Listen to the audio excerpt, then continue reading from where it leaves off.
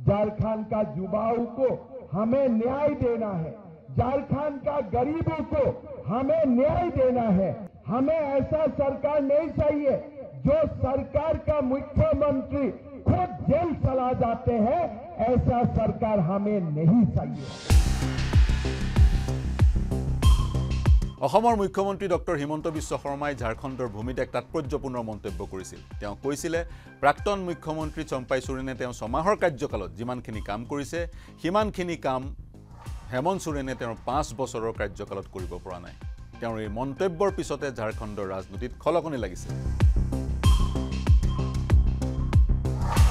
প্ৰশ্ন উত্থাপন হৈছে চম্পাই চোৰেনে ঝাৰখণ্ড মুক্তি মৰ্চা এৰি বিজেপিত যোগদান কৰিব নেকি? ঝাৰখণ্ড মুক্তি মৰ্চাৰ জন্মৰ পৰাই চম্পাই চোৰেন সেই দলটোৰ নেতা আৰু চোৰেন পৰিয়ালৰ যথেষ্ট ঘনিষ্ঠ। যেতিয়া হেমন্ত চোৰেন জেললৈ গৈছিল ই ডিৰ গোচৰত তেওঁ ছমাহ জেলত আছিলে তেওঁ জেলত থকাৰ সময়ছোৱা ৰাজ্যখন চলাইছিল চম্পাই চোৰেনে ছমাহৰ কাৰণে মুখ্যমন্ত্ৰী আছিল। যেতিয়া ঝাৰখণ্ড উচ্চ ন্যায়ালয়ে হেমন্ত চোৰেনক জামিনত মুক্তি দিলে মুক্তি দিয়াৰ পিছত তেওঁ পুনৰ মুখ্যমন্ত্ৰী পদত অধিষ্ঠিত হ'ল আৰু চম্পাই চোৰেনে মুখ্যমন্ত্ৰীৰ পদ ত্যাগ কৰিবলগীয়া হ'ল। এতিয়া খবৰ আহিছে চম্পাই চোৰেনে তেওঁৰ আন চাৰিজন সতীৰ্থ বিধায়কৰ সৈতে বিজেপিলৈ যোৱাৰ মন মেলিছে। খবৰ পোৱা মতে তেওঁ কলকাতালৈ গৈ পশ্চিমবংগ বিজেপিৰ জ্যেষ্ঠ নেতা শুভেন্দু অধিকাৰীৰ সৈতে বৈঠকত মিলিত হৈছে। বিগত সময়ত তেওঁ মিলিত হৈছিল ঝাৰখণ্ড মুক্তি মৰ্চাৰ এজন বিসম্বাদী বিধায়কৰ সৈতে। আৰু সেই বিসম্বাদী বিধায়কজনে যিজনে ইতিমধ্যে জে এম এম ত্যাগ কৰিছে তেওঁ মন্তব্য কৰিছে ক্ষোভিত হৈ আছে চম্পাই চোৰেন আৰু তেওঁ বিজেপিত যোগদান কৰিব।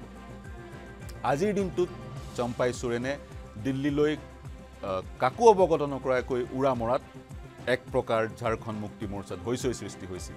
দিল্লীত উপস্থিত হৈ অৱশ্যে তেওঁ মন্তব্য কৰিলে তেওঁ ঝাৰখণ্ড মুক্তি মৰ্চাতে থাকিব কিন্তু তেওঁৰ দিল্লীৰ ভ্ৰমণ এক ব্যক্তিগত ভ্ৰমণ বুলি যদিও কৈছে কিন্তু ৰাজনীতিত সকলো সম্ভৱ। অসমৰ মুখ্যমন্ত্ৰী বৰ্তমান ঝাৰখণ্ডৰ সহপ্ৰভাৰী হৈ আছে আৰু যথেষ্ট সক্ৰিয়ভাৱে তেওঁক ঝাৰখণ্ডৰ ৰাজনীতিত নামি পৰিছে। এই বছৰেই ঝাৰখণ্ডত নিৰ্বাচন অনুষ্ঠিত হ'ব। যদিহে চম্পাই চোৰেনে তেওঁৰ আন ছয়জন বিধায়কৰ সৈতে বিজেপিত যোগদান কৰে তেতিয়া কিন্তু হেমন্ত চোৰেনৰ চৰকাৰখনৰ পতন ঘটাটো অৱধাৰিত নিৰ্বাচনৰ পূৰ্বে এই বছৰে যিহেতু নিৰ্বাচন অনুষ্ঠিত হ'ব ঝাৰখণ্ড যদি ঝাৰখণ্ডত যদি আন এখন চৰকাৰ গঠন হয় বিজেপিৰ নেতৃত্বত ই কিন্তু নিৰ্বাচনৰ ফলাফলত প্ৰভাৱ বিস্তাৰ কৰিব আৰু অনাগত সময়ত ঝাৰখণ্ডৰ ৰাজনীতিটো সুদূৰ প্ৰসাৰী প্ৰভাৱ পেলাব। অসমৰ মুখ্যমন্ত্ৰী ডক্টৰ হিমন্ত বিশ্ব শৰ্মাৰ ঝাৰখণ্ডৰ সক্ৰিয়তাই ঝাৰখণ্ডৰ ৰাজনীতিত কি পৰিৱৰ্তন আহে বিজেপি কেনেকৈ লাভান্বিত হয় সেয়াও লক্ষণীয় হ'ব।